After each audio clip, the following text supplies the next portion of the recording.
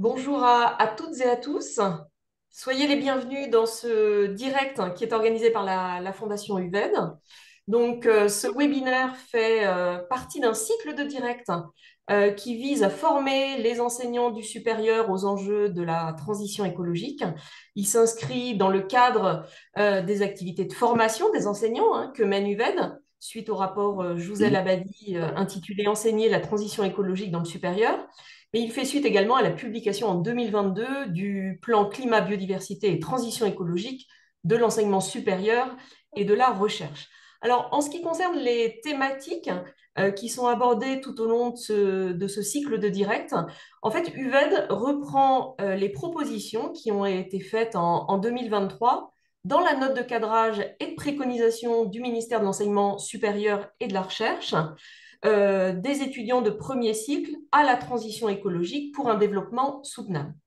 Et donc, pour rappel, il s'agit des thématiques euh, suivantes, le changement climatique, la biodiversité et sa préservation, les ressources et leur disponibilité, la transition juste et équitable, et enfin le récit des limites planétaires.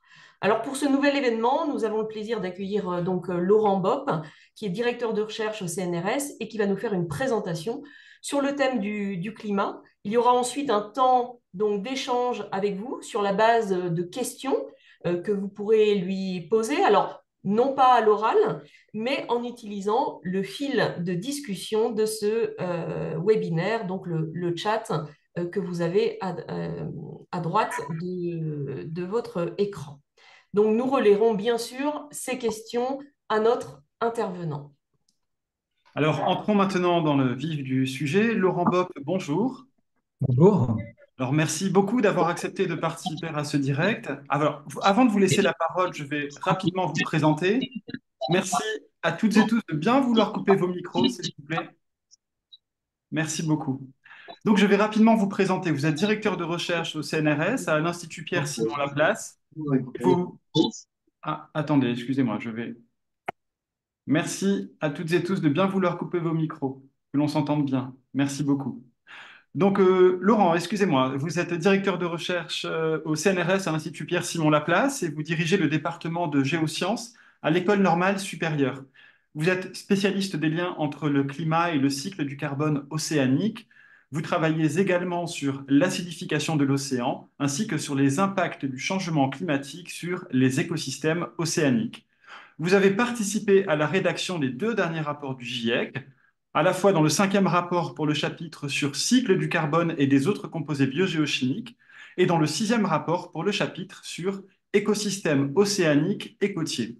Vous êtes aussi l'auteur ou le co-auteur de plusieurs ouvrages pour les enfants et le grand public, publiés aux éditions Le Pommier, parmi ceux que je vais citer, L'océan, le climat et nous, un équilibre fragile, Les poissons vont-ils mourir de faim et nous avec, et enfin, Les dessous de l'océan. J'invite tous les participants, mais je vois que tout est, mieux. Merci euh, d'être attentif à cela, à bien vouloir couper vos micros. Laurent, je vous laisse la parole et vous dis à tout à l'heure pour le temps d'échange. Bonjour à tous et merci beaucoup pour cette introduction.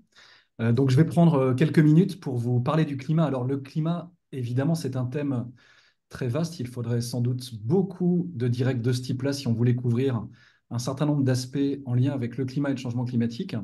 Et donc, j'ai choisi aujourd'hui, alors je vérifie que mes slides passent bien, voilà, j'ai choisi aujourd'hui euh, de finalement explorer une des sous-thématiques euh, d'intérêt quand on, quand on regarde le climat et le changement climatique. Je vais vous parler du CO2, de son évolution, évidemment de son rôle dans le changement climatique en cours, et puis des projections et des trajectoires d'évolution des émissions de CO2 qui sont compatibles avec les objectifs de, de l'accord de Paris. Alors peut-être avant de parler du CO2 et de son rôle comme gaz à effet de serre et comme euh, un des principaux acteurs du changement climatique, dans mon introduction, je reviens quand même sur la, crise climatique et je commence par vous montrer ces courbes euh, qui vous montrent l'augmentation de la température. Donc ce sont des anomalies de la température globale par rapport à ce qu'on appelle la température pré-industrielle, prise ici entre 1850 et 1900. Et c'est les courbes symboles du changement climatique qui nous montrent le réchauffement auquel nous sommes confrontés.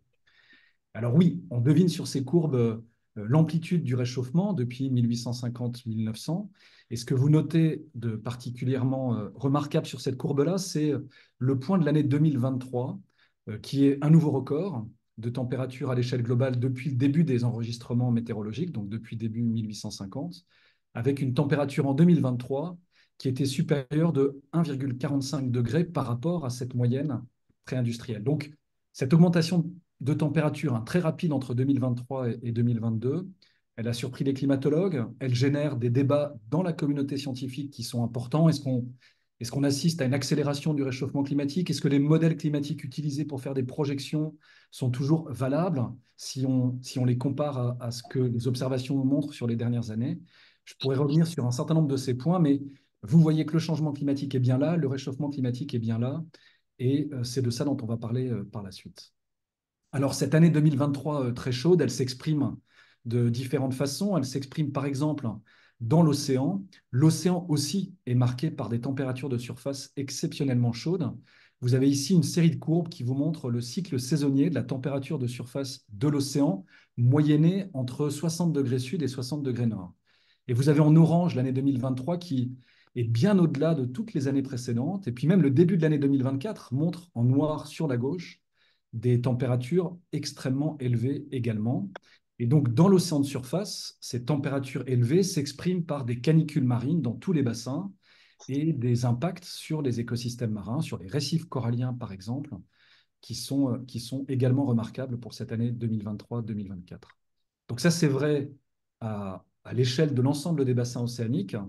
Euh, si on se tourne cette fois-ci euh, vers les pôles, et en particulier vers le pôle sud, on voit qu'en 2023-2024, la banquise antarctique est aussi très petite par rapport à tout ce qu'on avait enregistré euh, depuis ici 1981. On a en 2023 et 2024, en 2022-2023 enregistré un, minimum de banquise en Antarctique. Donc là encore, un signe de ce réchauffement qui a des impacts très forts dans les, dans les zones polaires.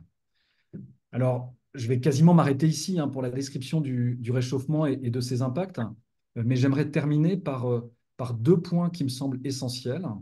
Le premier, c'est que ce réchauffement planétaire qui, pour l'année 2023, atteint 1,45 degrés, mais si on prend les dix dernières années, on est plutôt autour de 1,1, 1,1 degrés, 1,2 degrés par rapport au pré-industriel.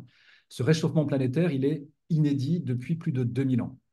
Et c'est ce que vous avez ici sur la, sur la partie gauche euh, du diagramme. On voit la reconstruction des températures sur les deux derniers milliers d'années, avec des températures stables pendant euh, plusieurs centaines d'années, un léger refroidissement euh, au début du, deuxième millénaire, et puis cette augmentation de température très inhabituelle par rapport à ces variations naturelles de la température sur les deux derniers milliers d'années.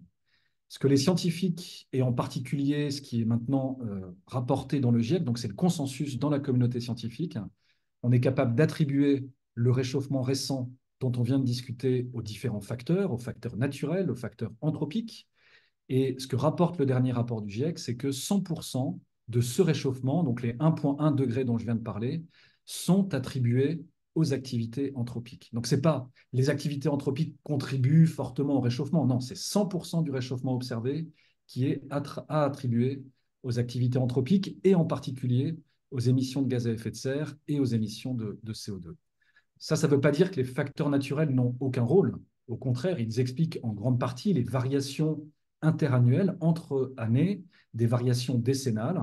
Et tout ça, ça peut être lié à la nature chaotique de ce système climatique, mais aussi aux variations de l'insolation solaire ou à des éruptions volcaniques. Donc, un monde qui se réchauffe, on est aujourd'hui à plus de 1,1, 1,1 degré de réchauffement, et ce réchauffement est attribué aux émissions de gaz à effet de serre. Ce que je vous propose de faire dans les, dans les prochaines minutes, c'est de me concentrer sur le CO2, qui est comme vous le savez sans doute, le principal gaz à effet de serre anthropique est donc responsable du changement climatique observé. Je vais revenir sur ce qu'on appelle le bilan de carbone.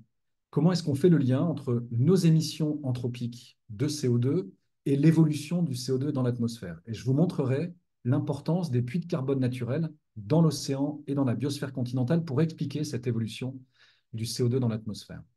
Dans un deuxième temps, je discuterai du futur, des prochaines décennies, je parlerai de projection climatique et surtout, je vous présenterai les trajectoires d'émissions anthropiques de CO2 qui sont compatibles avec nos objectifs de limitation du réchauffement climatique à 1,5 degré ou 2 degrés. Ce sont les objectifs de l'accord de Paris établi en, en 2015.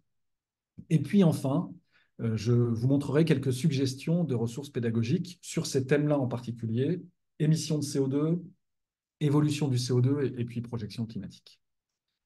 Alors, pour parler du CO2, on a l'habitude de commencer par présenter cette courbe, ce graphe qui est finalement un graphe assez célèbre également, en parallèle de l'augmentation de température. Ce que vous avez sous les yeux, c'est l'augmentation du CO2 dans l'atmosphère depuis 1958.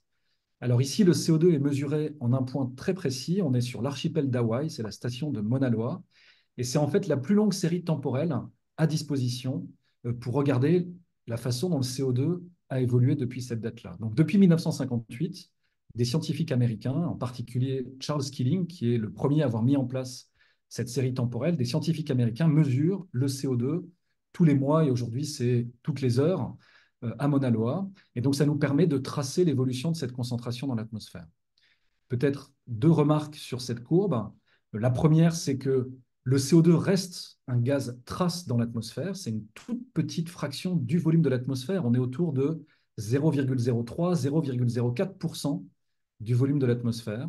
Mais cette concentration très faible a augmenté de façon très importante. On est passé, vous le voyez ici, en 1958, de 315 parties par million à plus de 420 parties par million aujourd'hui. Donc plus de quasiment 50% depuis 1750. Euh, et donc, cette augmentation, elle est, importante.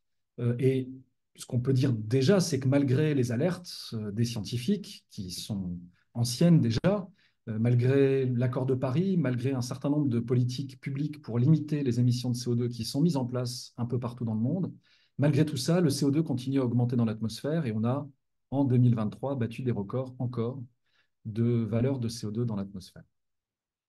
Alors, ce CO2 euh, dans l'atmosphère, son augmentation s'explique bien évidemment par nos émissions de carbone anthropique liées principalement à la combustion du gaz, du pétrole et du charbon.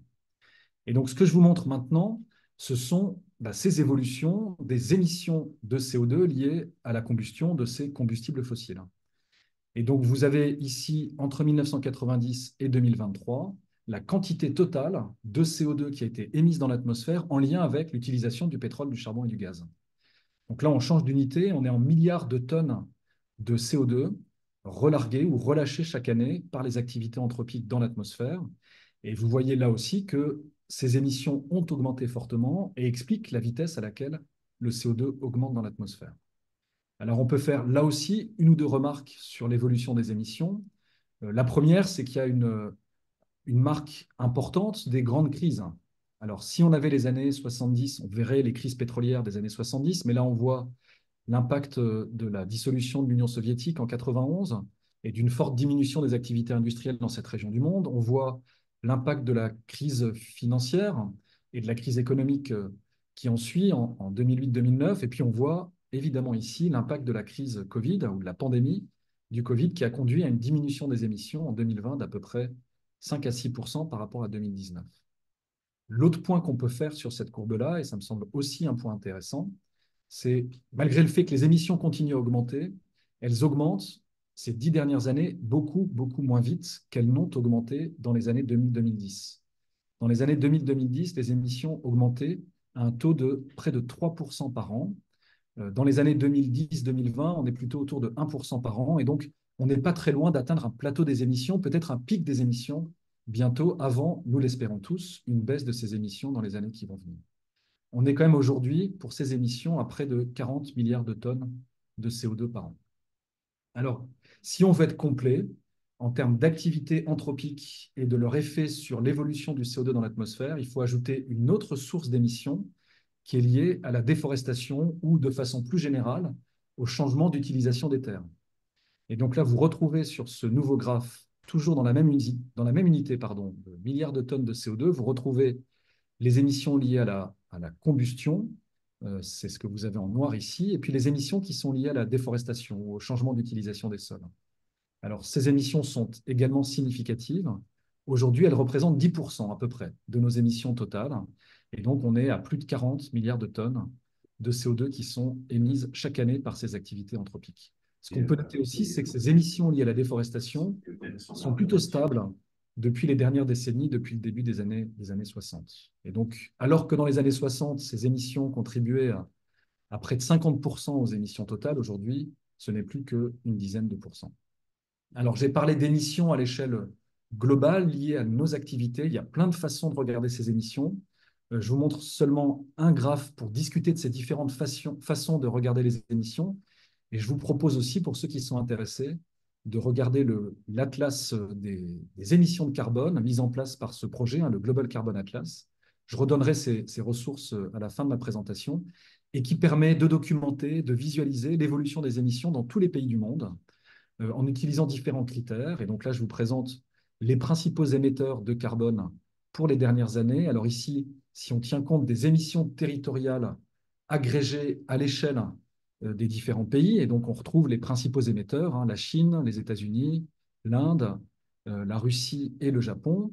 Euh, si par contre, on divise ces émissions par le nombre d'habitants dans chacun de ces pays, on a un classement des principaux émetteurs très différent avec une variation très importante de ces émissions en tonnes de CO2 par habitant cette fois-ci. Et puis, sur la dernière barre, c'est une autre façon de regarder les émissions où cette fois-ci, au lieu de regarder les émissions dites territoriales, ce qui est par exemple émis sur le territoire de la France, on regarde les émissions qui sont liées à la consommation. Et donc en France, par exemple, ça, ça ferait augmenter les émissions de gaz à effet de serre de près de 50% euh, si on tient compte des émissions liées à la consommation. Donc on importe finalement des émissions en France parce qu'on consomme un grand nombre de produits euh, qui sont fabriqués ailleurs. Alors, je reviens euh, pour finir sur cette partie euh, bilan de carbone, sur le lien entre les émissions de CO2 et l'augmentation du CO2 dans l'atmosphère. Dans l'atmosphère. Évidemment, le CO2 qui augmente dans l'atmosphère, c'est parce que nous émettons du carbone dans l'atmosphère. Mais je vous montre un bilan complet sur les dix dernières années, où vous retrouvez sur la gauche du graphe les sources dont on a déjà parlé, à peu près 90% des émissions qui sont liées à la combustion du pétrole, du charbon et du gaz, et puis ici, une dizaine de pourcents liés à la déforestation ou au changement d'utilisation des sols. Il est intéressant de noter, c'est ce que vous avez sur la droite, que moins de 50% de nos émissions s'accumulent dans l'atmosphère et est responsable de l'augmentation du CO2 observé. C'est ce qu'on appelle la fraction airborne, la fraction des émissions qui s'accumulent dans l'atmosphère. Donc seulement la moitié de nos émissions s'accumulent dans l'atmosphère. Donc ça, c'est plutôt une bonne nouvelle. Ça veut dire que certains processus, certaines composantes du système Terre prélèvent une grande partie de ce CO2. Et c'est les chiffres que vous avez juste en dessous ici. Près de 30% de nos émissions, chaque année, sont absorbées par la biosphère continentale et de l'ordre de 25% de nos émissions, chaque année, sont absorbées par l'océan. Et c'est ce qui confère finalement à ces deux composantes du système climatique, la biosphère continentale et l'océan, le rôle de puits de carbone important. Ce qu'on peut dire de façon encore plus simple, c'est que ces puits de carbone, ils ralentissent la vitesse à laquelle le CO2 augmente dans l'atmosphère. Seule la moitié du CO2 émis s'accumule. Et donc, ils ralentissent la vitesse à laquelle le climat se réchauffe, le climat change au cours des dernières décennies. Donc, ces puits de carbone, finalement, sont nos alliés dans la lutte contre le changement climatique. Un dernier point sur ces, sur ces puits de carbone, sur euh, peut-être les mécanismes qui permettent d'expliquer euh, leur existence, ils sont très différents on s'intéresse à la biosphère continentale d'un côté, à l'océan de l'autre côté. Dans la biosphère continentale, les mécanismes qui expliquent le puits de carbone sont des, mécanismes biologiques. C'est principalement la photosynthèse des organismes euh, sur les continents qui augmentent fortement avec l'augmentation du CO2. En fait, le CO2 fertilise les plantes, une grande partie des plantes sur nos continents, qui font plus de photosynthèse, et qui vont se mettre à stocker du carbone, alors ou dans la biomasse vivante ou euh, dans le sol sous forme de, carbone organique. Donc c'est vraiment, ce sont vraiment des processus biologiques qui expliquent ce puits de près de 12 milliards de tonnes de CO2 par an. Dans l'océan, par contre, même si la biologie a un rôle clé dans le fonctionnement du cycle du carbone océanique, ce sont des processus physico-chimiques qui expliquent le puits de carbone océanique en très grande majorité. Et donc c'est vraiment le fait que le CO2 augmente dans l'atmosphère encore une fois qui va euh, conduire à un déséquilibre, alors c'est un tout petit peu plus technique, un hein, déséquilibre des pressions partielles de CO2 de part et d'autre de l'interface air-mer. Et ça, ça conduit à un flux net du CO2 de l'atmosphère vers l'océan. Une fois dans l'océan, le CO2 est transporté par les courants marins vers les profondeurs. Donc voilà ce qu'on comprend aujourd'hui du bilan de carbone. Et je veux terminer là-dessus de l'importance des puits de carbone pour expliquer la vitesse à laquelle le CO2 augmente. Et donc de l'importance des puits de carbone pour expliquer aussi la façon dont le CO2 réagira demain à nos émissions de CO2 à venir. Alors justement, un petit mot sur demain. Je vais parler maintenant de scénarios, de modèles rapidement, et puis de projections et de trajectoires futures des émissions de, de CO2. Alors, comment est-ce qu'on travaille? D'abord, un petit point de méthodologie euh, sur euh, la façon dont on peut anticiper l'évolution du climat et l'évolution de la concentration de CO2 dans l'atmosphère pour les prochaines décennies. On travaille à partir de scénarios qui sont établis par nos collègues économistes, avec des modèles finalement qui représentent les différents secteurs d'activité, et puis un grand nombre d'hypothèses sur euh, le développement technologique, sur les politiques climatiques mises en place, sur l'évolution de la population aussi, euh, et ces différents scénarios, finalement, ils nous permettent d'explorer une gamme de possibles, hein, avec des scénarios où les émissions de CO2 continuent à augmenter fortement, et puis un, scénario plus optimiste ici en bleu, où les émissions de CO2 sont fortement atténuées pour atteindre euh, le net zéro, voire des émissions négatives d'ici la fin du siècle. On reviendra sur ces, sur ces émissions négatives. Une fois qu'on a ces scénarios à disposition, on utilise des outils numériques, des modèles climatiques, pour calculer la façon dont le système climatique dans son ensemble va réagir à l'évolution de ses émissions. Euh, la vitesse à laquelle le CO2 va augmenter, la vitesse à laquelle le climat va se modifier et les impacts du changement climatique à l'échelle régionale. Et pour faire tourner ces modèles climatiques, on a besoin de supercalculateurs, et c'est l'image que vous avez ici en bas à gauche. Alors, à quoi ressemblent nos projections climatiques? Je vous en montre un exemple euh, ici. Vous avez sur la droite toujours les scénarios d'émissions qui ont été utilisés dans le dernier rapport du GIEC, avec toujours des scénarios très contrastés, des émissions qui baissent fortement dès aujourd'hui ou à peu près, et puis des émissions qui continuent à augmenter au cours des prochaines décennies. Et puis sur la gauche, vous avez ce qu'il en résulte en termes de l'évolution de la température moyenne à la surface de la planète. Et vous voyez évidemment que les émissions à venir vont déterminer le niveau de réchauffement. Euh, dans le cas d'émissions qui continuent à augmenter fortement jusqu'à près de 120 euh, milliards de tonnes de CO2 par an, on atteindrait de 4 à 5 degrés de réchauffement à l'échelle de la planète par rapport à, l'actuel. Alors que si on est capable de faire baisser nos émissions fortement pour atteindre le net zéro d'ici la fin du siècle, on pourrait stabiliser la température globale à 2 degrés par rapport au pré-industriel ou alors à 1,5 degrés par rapport au pré-industriel. Donc ce, ce sont ces outils-là que nous utilisons pour évaluer la réponse du système climatique à différents scénarios d'évolution des émissions de gaz à effet de serre. Ce sont aussi ces outils que nous utilisons pour évaluer les impacts du changement climatique à l'échelle régionale sur les différents secteurs d'activité, sur les écosystèmes et la biodiversité. Et donc pour travailler également sur les solutions d'adaptation. Alors je vais rester sur les trajectoires carbone et sur le lien entre émissions et température. Une propriété émergente de ces simulations, euh, qui est intéressante et qui a des ramifications politiques importantes est la suivante, c'est celle que je vous montre sur ce, sur ce graphe, peut-être une des figures ou un des graphes les plus importants du dernier rapport de l'IPCC. Ce que montre cette figure, c'est que malgré la complexité du système climatique, euh, en fait, on est capable de démontrer euh, qu'on obtient une relation quasi linéaire entre le réchauffement, la hausse des températures, ici entre 1 degré, 1,5, 2 degrés, 3 degrés, et les émissions cumulées dans le temps de CO2 depuis 1850.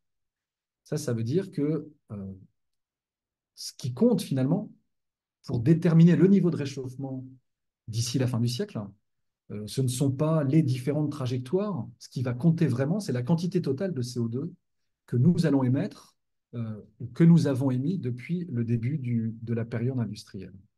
Alors ce graphe, il est intéressant d'un point de vue politique parce que on peut traduire un objectif de réchauffement, 1,5 degré par exemple, en une quantité totale de carbone, de CO2, qui peut être émise dans l'atmosphère depuis 1850.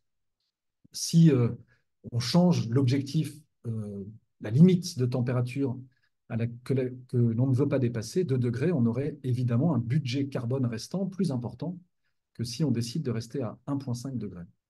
Et donc, une fois que j'obtiens ce budget carbone total qui correspond à un réchauffement de 1,5 degré, je peux enlever la quantité de carbone que nous avons déjà émise. Et donc, j'obtiens ce qu'on appelle le budget carbone restant. C'est ce qu'il nous reste à émettre si on veut limiter le réchauffement ici à 1,5 degré.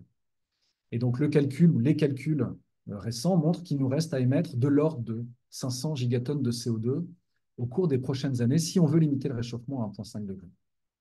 Je note que cette quantité de carbone restant à émettre est, par exemple, inférieur à ce que les émissions de CO2 projetées à partir des infrastructures existantes de combustibles fossiles, donc les puits de pétrole, un certain nombre de, de centrales thermiques, nous amèneraient à émettre au cours des, prochaines décennies. Donc ça permet aussi de se rendre compte de, l'effort qu'il va nous falloir fournir si on veut limiter la température globale à 1,5 degré, voire à 2 degrés. Et là, vous avez une autre façon de regarder ce budget carbone restant. Euh, il vous est indiqué ici pour des limites de réchauffement à 1,5, 1,7 et 2 degrés. Vous avez pour chacun de ces camemberts la quantité de carbone que nous avons déjà émise depuis 1850, hein, de l'ordre de 2500 milliards de tonnes de CO2, et puis ce qu'il nous reste à émettre euh, pour rester en dessous de 1,5, en dessous de 1,7 ou en dessous de 2 degrés. Et donc ces quantités de carbone, si vous vous rappelez les ordres de grandeur dont on a parlé au début de mon intervention, ils correspondent à en gros une dizaine d'années, même moins pour 1,5 degré de nos émissions actuelles, à une quinzaine d'années et à une trentaine d'années pour euh, une limite à 2 degrés. Donc euh, finalement, on a une urgence évidemment à faire baisser nos émissions drastiquement si on veut être capable de répondre aux objectifs de l'accord de Paris. Une autre façon de regarder ces, ces budgets de carbone restants, c'est de regarder les différents scénarios qui nous sont proposés et qui sont compatibles avec ces objectifs à 1,5 degré ou 2 degrés. Donc là, vous retrouvez les émissions, alors cette fois-ci de CO2 équivalent, elles tiennent compte des autres gaz à effet de serre, euh, telles qu'observées depuis euh, un certain nombre d'années, depuis une quinzaine d'années. Et puis vous avez différents scénarios ici pour les prochaines décennies. 1,5 degré, il nous faut réduire drastiquement nos émissions d'ici 2030. Euh, 2 degrés, il faut aussi réduire fortement les émissions. Et puis vous avez en rouge la trajectoire d'émissions qui correspond aux politiques climatiques publiques qui sont déjà en place, et en violet les trajectoires d'émissions qui pourraient correspondre aux engagements que les pays ont pris lors des différentes COP.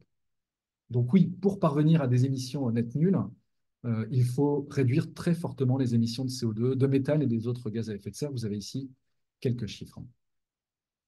Alors je, me, je, vais bientôt terminer euh, pour laisser de la place à la discussion, mais peut-être quelques éléments qui me semblent importants si on se projette un peu plus loin dans le temps. Vous retrouvez ici pour le CO2 seulement les différentes trajectoires dont on a parlé. En rouge, la trajectoire qui correspond aux politiques publiques déjà en place, avec des, incertitudes importantes, hein, surtout pour la deuxième moitié du siècle. Euh, et puis ici, en, en bleu et vert, les trajectoires d'émissions qui vont nous permettre de limiter le réchauffement à 1,5 degré ou 2 degrés. Alors, un point qui me semble important et qu'il faut noter ici, c'est que pour limiter le réchauffement à 1,5 degré ou 2 degrés, finalement, pour stabiliser la température en surface de notre planète, il ne suffit pas de stabiliser nos émissions. Vous avez ici le scénario rouge où les émissions sont stabilisées. Ce scénario rouge, il continue, il conduit à une augmentation des températures sur l'ensemble du XXIe siècle. Si on veut stabiliser la température, il faut que nos émissions atteignent ce qu'on appelle le net zéro d'ici la fin du siècle. Donc il faut qu'on ait un moyen d'absorber du CO2 qui est déjà dans l'atmosphère, euh, alors que nos émissions doivent être réduites de façon drastique. Alors pourquoi faut-il atteindre le net zéro pour stabiliser la température? Ça, c'est parce que finalement, le CO2 s'accumule dans l'atmosphère. Et donc, si on veut éviter que le CO2 continue à s'accumuler, il faut que nos émissions baissent jusqu'à zéro. Pourquoi jusqu'à zéro? Je vous ai parlé des puits de carbone qui, aujourd'hui, prélèvent la moitié de nos émissions. En fait, ces puits de carbone, ils existent parce que le CO2 augmente. Et donc, si le CO2 se stabilise, ces puits de carbone ils vont aussi disparaître. Et donc, il faut que nos émissions aussi, elles, disparaissent, si on veut stabiliser le CO2 et limiter le réchauffement à 1,5 degré et 2 degrés. Donc, dernier point, et c'est peut-être mes dernières planches, avant de vous laisser euh, la parole ou avant de vous laisser poser des questions. Ce que vous voyez ici, c'est qu'il faut réduire drastiquement nos émissions et qu'il faut atteindre des émissions négatives d'ici la fin du siècle si on veut être capable de limiter le réchauffement, même à 2 degrés. Et donc, il y a évidemment plusieurs façons hein, d'aborder euh, cette question. Euh, vous avez la réduction forte des émissions, euh, ici en, gris et en vert. Et puis, je vais terminer en évoquant rapidement des projets, des technologies qui sont souvent immatures et qui visent à capturer du CO2 qui est déjà dans l'atmosphère on parle de technologie à émissions négatives, ou on parle de capture ou d'élimination du dioxyde de carbone. Et vous le voyez, hein, pour atteindre le net zéro et pour passer sous le net zéro, on aura besoin de certaines de ces technologies à émissions négatives, en tout cas dans la deuxième partie du siècle. Et donc oui, le consensus qu'on retrouve dans le dernier rapport du GIEC, c'est que, évidemment, il faut d'abord réduire de façon très rapide, de façon massive, de façon durable nos émissions vers l'atmosphère si on veut atteindre certains des objectifs de l'accord de Paris et la stabilisation des températures. Mais ces émissions négatives ou l'élimination du dioxyde de carbone peut aussi remplir des rôles additionnels, peut permettre d'aider à réduire certaines émissions. Ces technologies peuvent permettre de compenser des émissions résiduelles qui seront difficiles à éliminer. Et puis enfin, si on veut, c'est ce que j'ai dit tout à l'heure, atteindre des émissions nettes négatives, on aura besoin de ces technologies. Alors, vous avez entendu parler, j'en suis sûr, de reforestation, d'afforestation. Ça, ça fait partie de ces technologies, des solutions basées sur la nature ici, où on, augmente les surfaces forestières pour absorber du CO2. Euh, mais vous avez peut-être aussi entendu parler d'un certain nombre de technologies peut-être plus nouvelles, peut-être moins matures. Euh, et c'est vers là que je veux vous amener aujourd'hui. Donc, vous avez deux grands types de technologies qui sont intégrées dans les scénarios économiques dont j'ai parlé tout à l'heure, à 1,5 degré ou 2 degrés. Je vous en donne les acronymes ici.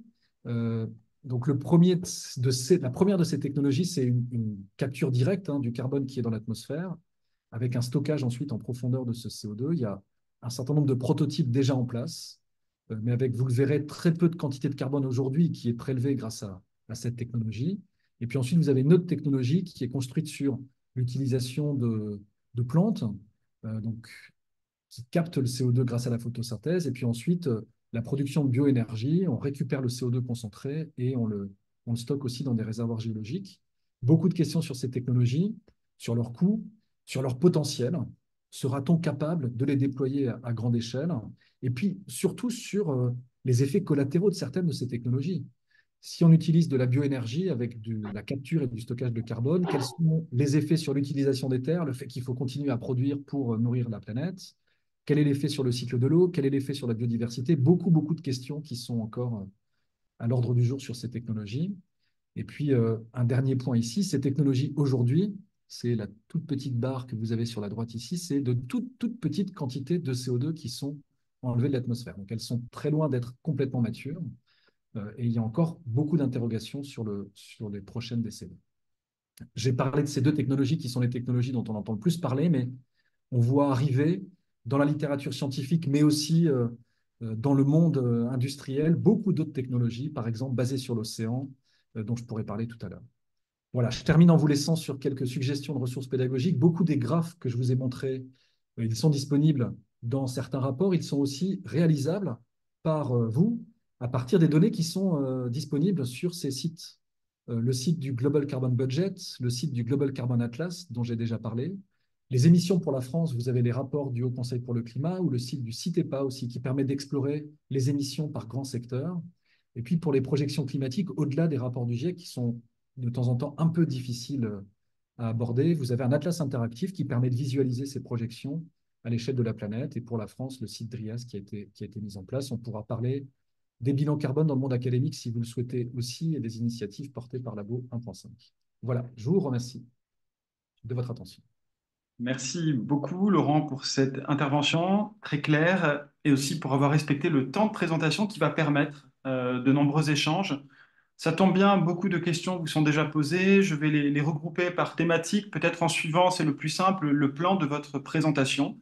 Revenons tout d'abord, si vous voulez bien, sur l'année 2023. Vous avez parlé d'une année 2023 absolument exceptionnelle est-ce que vous pourriez revenir sur quelques aspects? Quels facteurs peuvent aujourd'hui expliquer?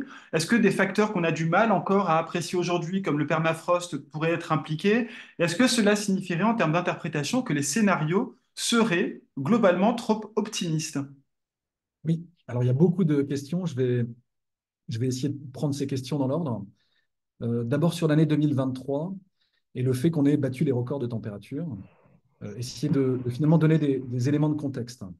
Donc, le premier élément, c'est évidemment la poursuite euh, du réchauffement climatique en cours, avec des émissions de CO2 qui continuent à augmenter et des concentrations de gaz à effet de serre qui continuent à augmenter. Ça, c'est le premier élément.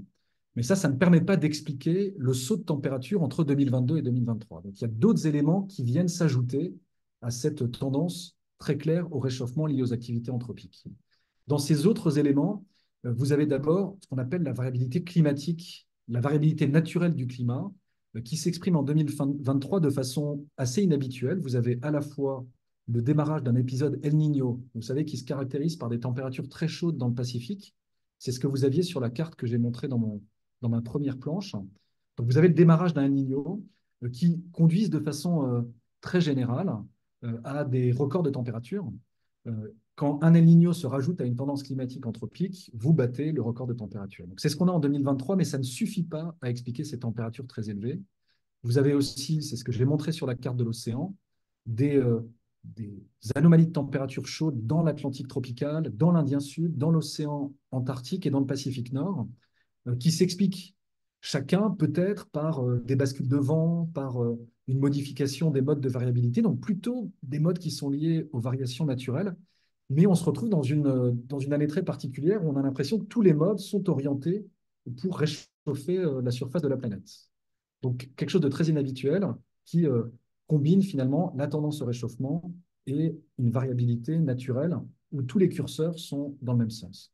Alors les débats, aujourd'hui, ils sont quand même de plusieurs ordres.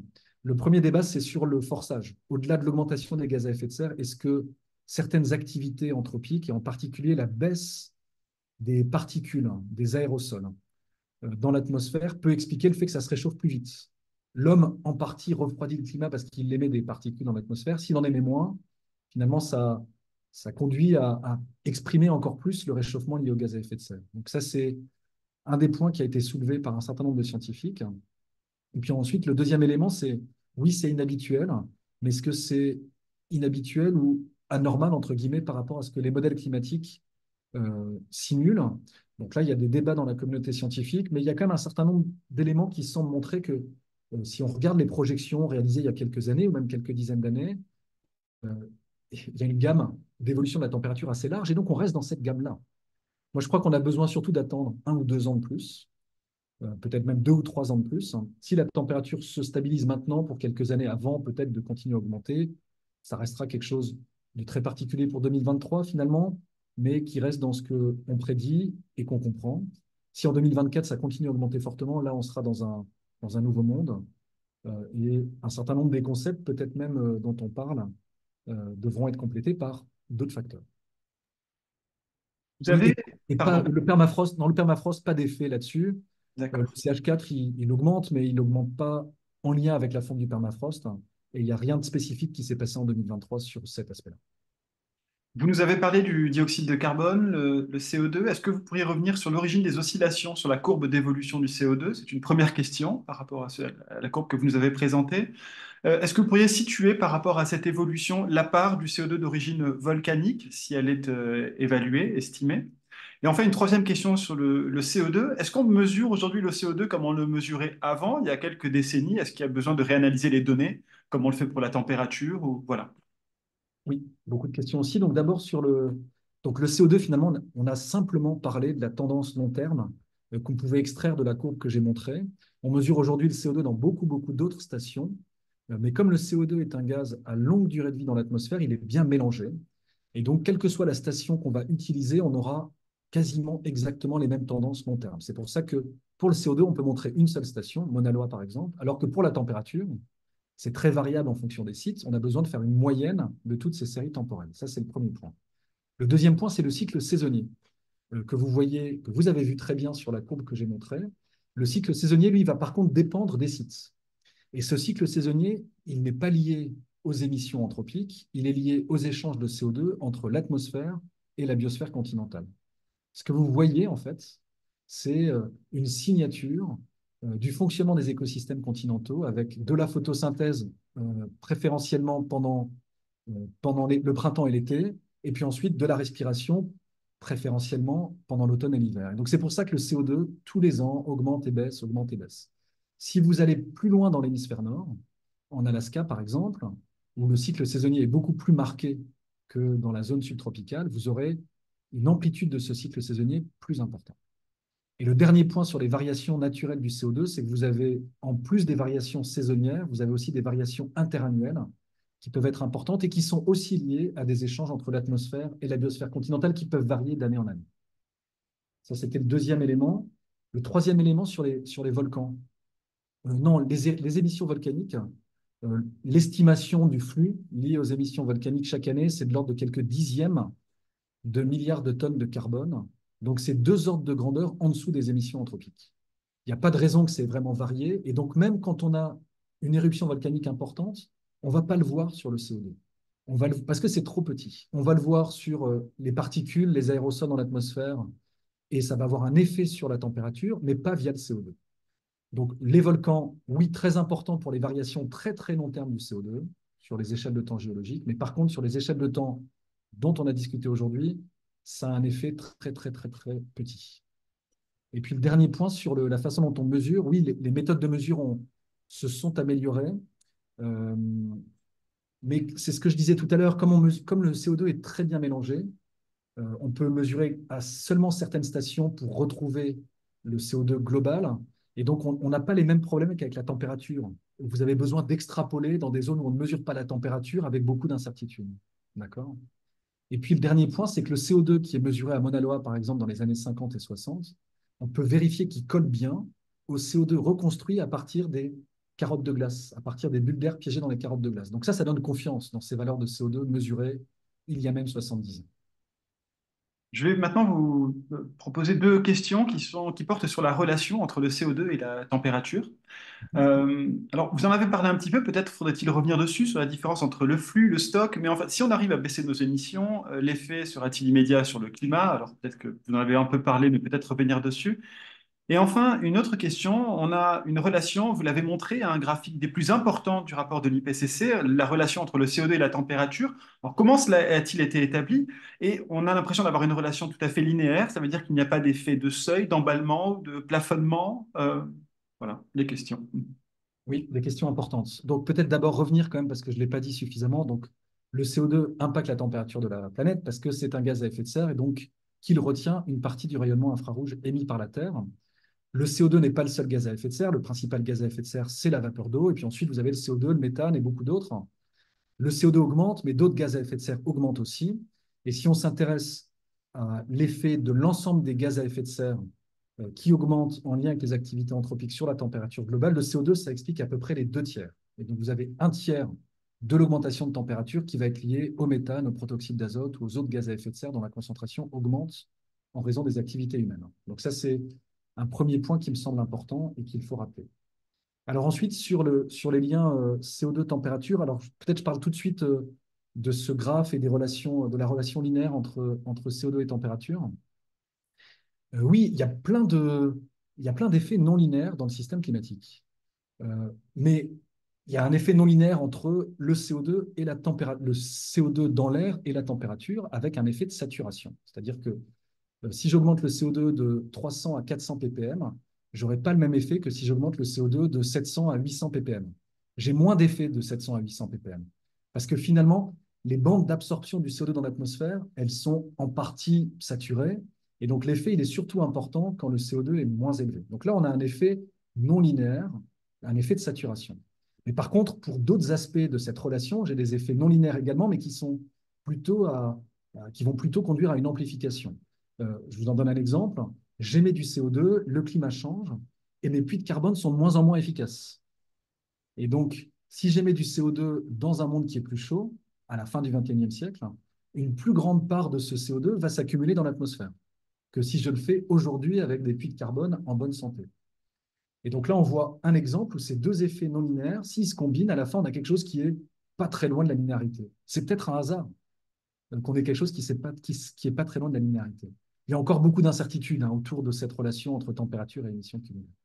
Mais un point qui me semble important quand même, ce que dit cette relation entre température et émissions cumulées, le fait qu'il y ait une relation, qu'elle soit linéaire d'ailleurs ou pas complètement linéaire, le fait qu'il y ait une relation entre température et émissions cumulées, quel que soit le scénario, montre que si on veut stabiliser à une température donnée, il faut arrêter d'émettre. Et ça, ça me semble être le point le plus important, il faut arrêter d'émettre. Donc il faut être à net zéro si on veut stabiliser la température.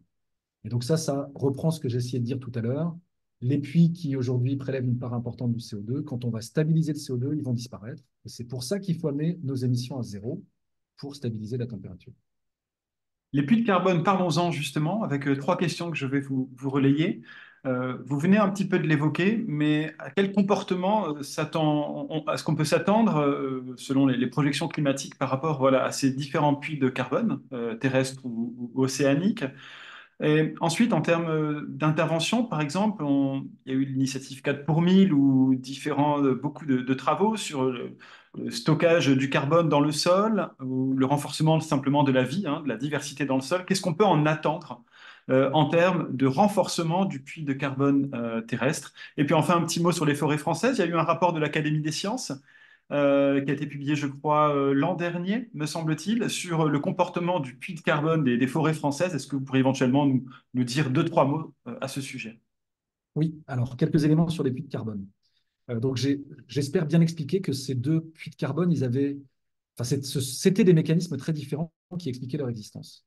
Mais ce qu'on peut noter quand même, c'est que dans les deux cas, que ce soit un mécanisme biologique via la fertilisation de la photosynthèse pour la partie continentale ou un mécanisme physico-chimique via un déséquilibre des pressions partielles de part et d'autre de l'interface ternaire, dans les deux cas, les puits existent parce que le CO2 augmente. Donc c'est le fait que le CO2 augmente qui explique pourquoi nous avons ces puits aujourd'hui. Et donc ça, c'est vrai aussi pour demain. C'est-à-dire que ces puits de carbone, ils sont d'autant plus forts qu'on est dans un scénario où le CO2 augmente vite.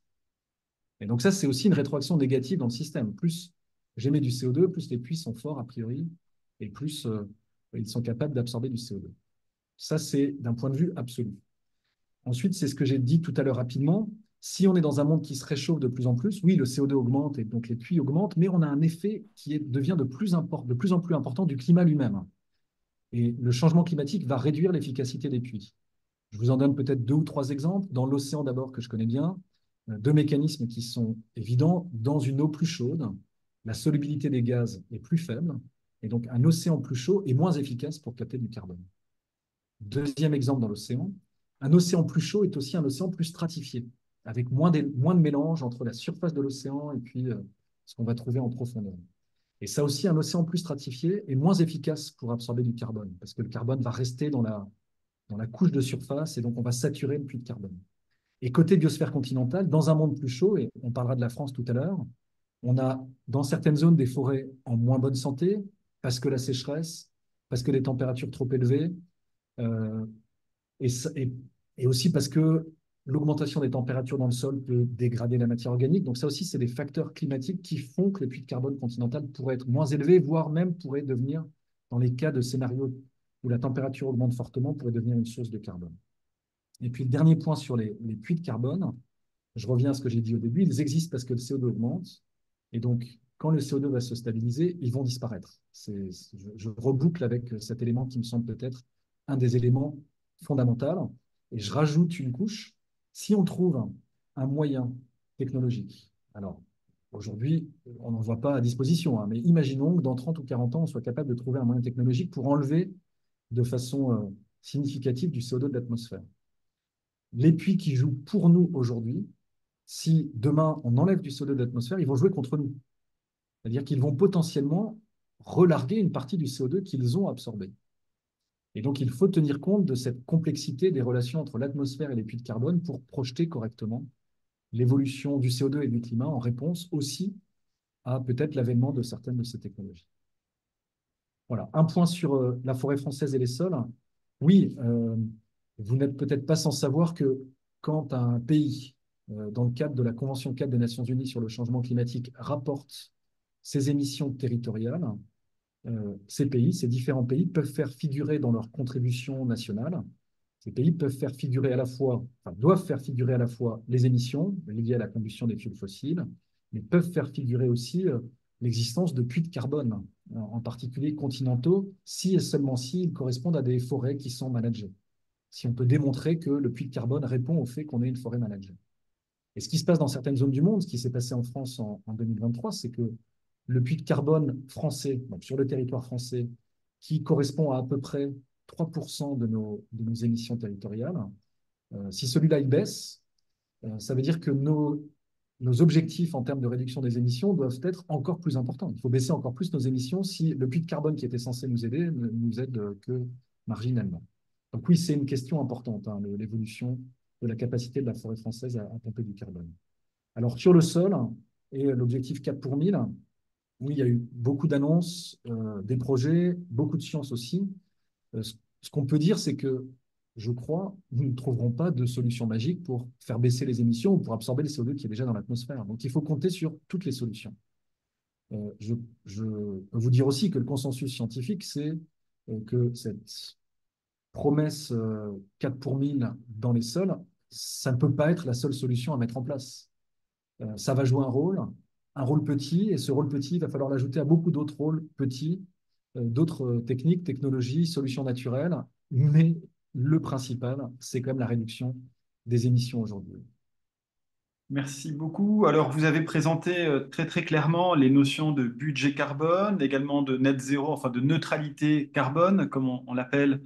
Euh, alors, deux questions que je vous relais. Euh, quelles seraient, de votre point de vue, quelques actions prioritaires pour atteindre cette neutralité carbone?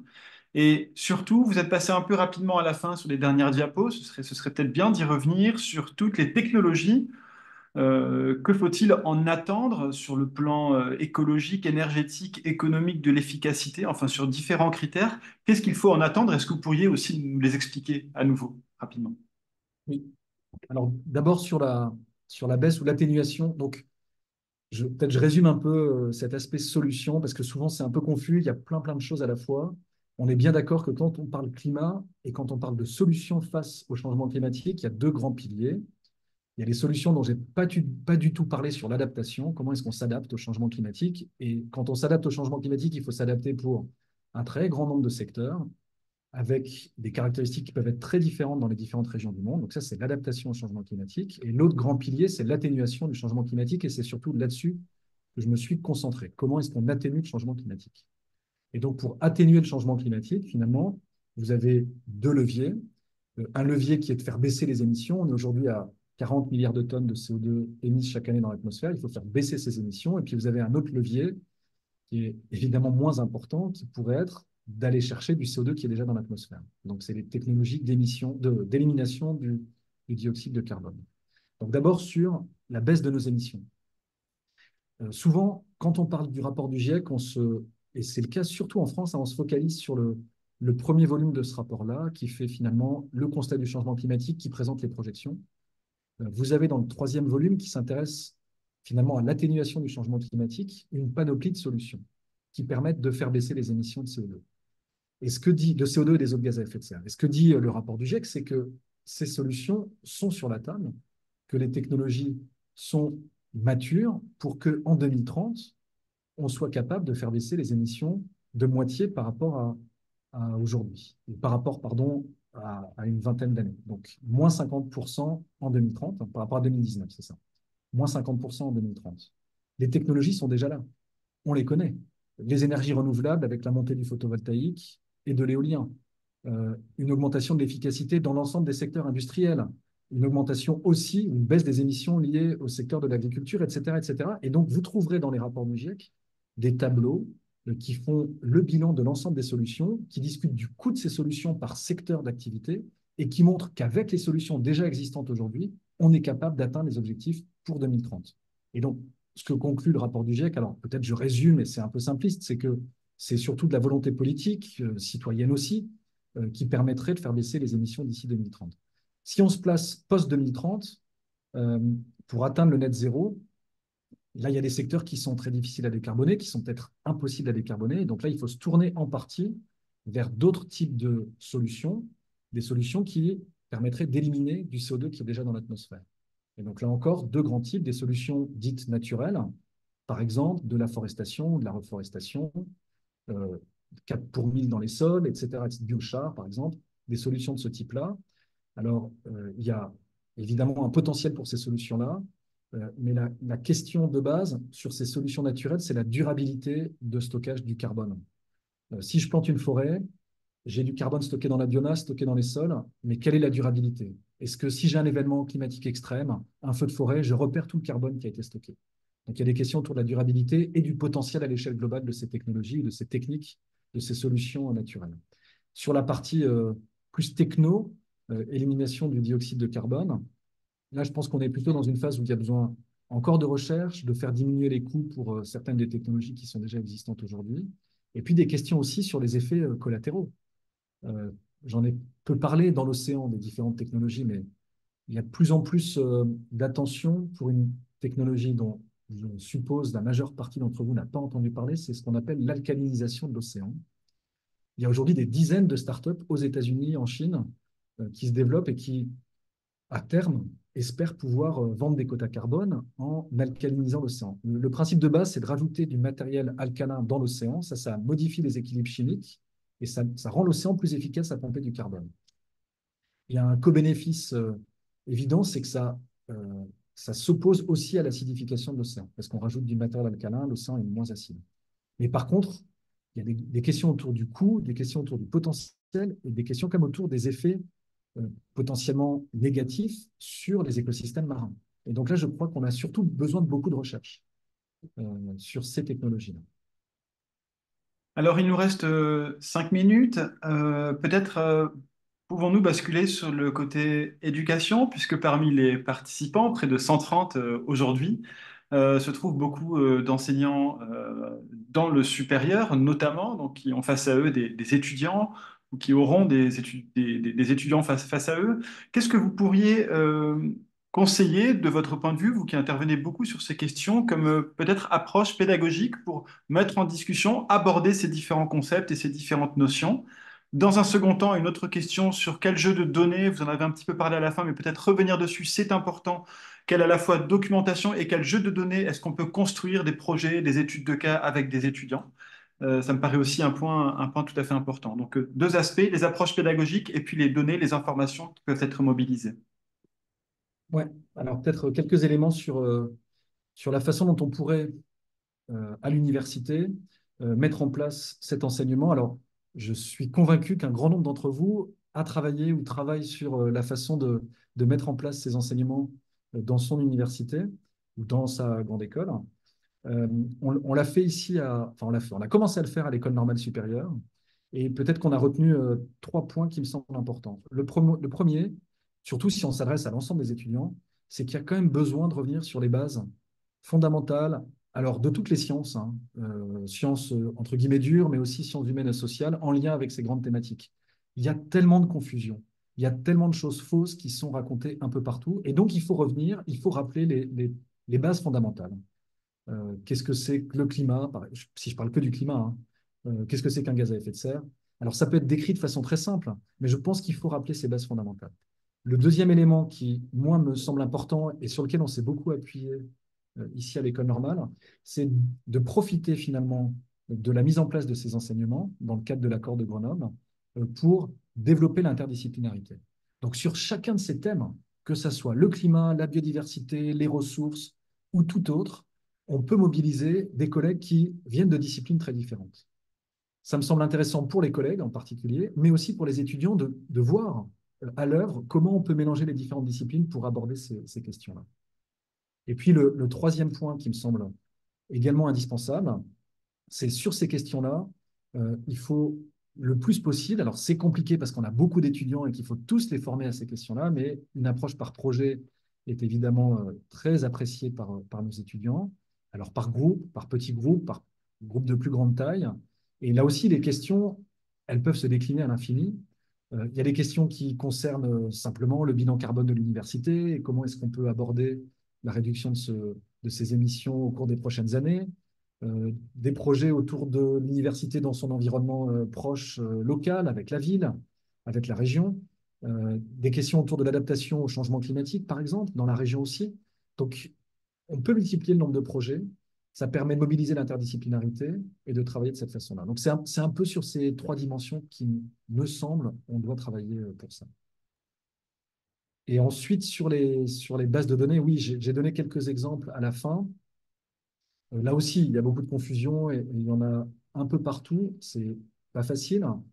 Euh, et c'est pas facile dans le supérieur non plus. Il y a beaucoup d'efforts qui ont été faits euh, pour les élèves du primaire, collège ou lycée, en particulier grâce à, une, une, partie de la main à la pâte qui s'appelle Office for Climate Education, qui a proposé des brochures et des ressources pour les, pour les plus jeunes à l'université, ça existe moins, et donc c'est aussi à, chacun d'entre nous de construire à partir des, bases de données qui sont disponibles en ligne. Euh, en tout cas, ce que, ce que j'ai montré aujourd'hui, là, la plupart des graphes que j'ai montrés aujourd'hui vous seriez capable de les reproduire à partir de données qu'on peut trouver en ligne. Donc, Global Carbon Budget, Global Carbon Atlas, vous avez euh, une façon de fabriquer vos graphiques vous-même, les émissions de CO2 pour un pays donné en fonction du temps, en fonction des secteurs d'activité.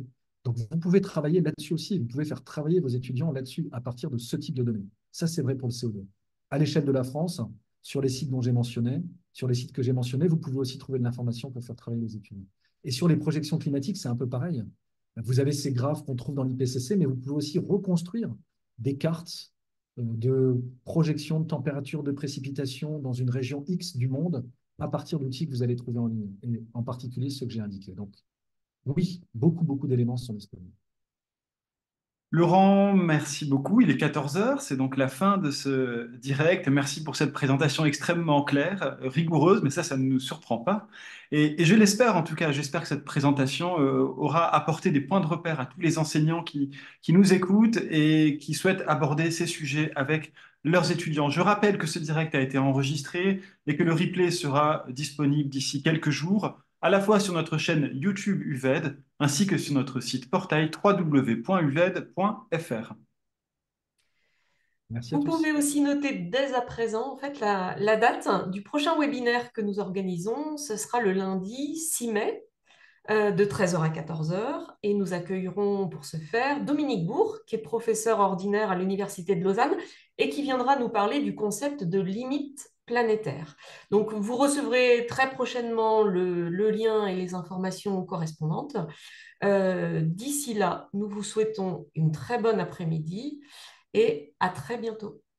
Merci à vous toutes et tous. Merci Laurent.